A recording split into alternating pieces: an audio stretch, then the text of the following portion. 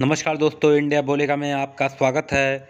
जौनपुर में शहर के दो जाने माने सराफा कारोबारियों की फर्मों व घरों पर सोमवार की सुबह से आयकर विभाग की टीमों की छापेमारी से शहर में खलबली मच गई।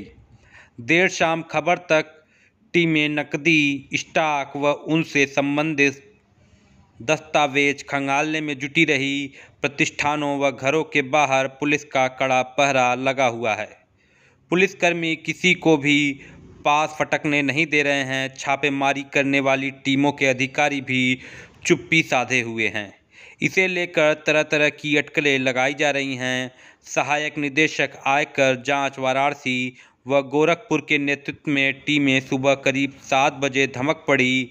टीमों ने Kirti Kunj group of companies के डायरेक्टर नन्हेलाल वर्मा व गहना कोठी के अधिष्ठाता विवेक सेठ मोनू के नखास में सद्भावना पुल, पहुँच मार्ग, चहारसू चौराहा व कोतवाली चौराहा, jewellery showroom, Kirti Kunj jewellers, Gahna Kothi और ख्वाजा दोस्त स्थित घर पर एक साथ छापा मारा।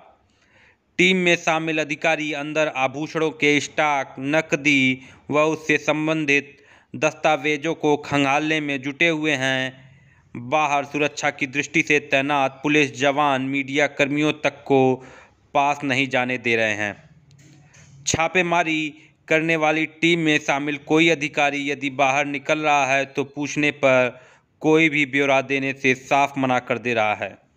इस दौरान छापेमारी करने वाली टीम में शामिल अधिकारी नन्हेलाल वर्मा के दोनों पुत्रों व विवेक सेठ को अपने वाहनों से बैठाकर अलग अलग पूछताछ करने के लिए कहीं ले गए।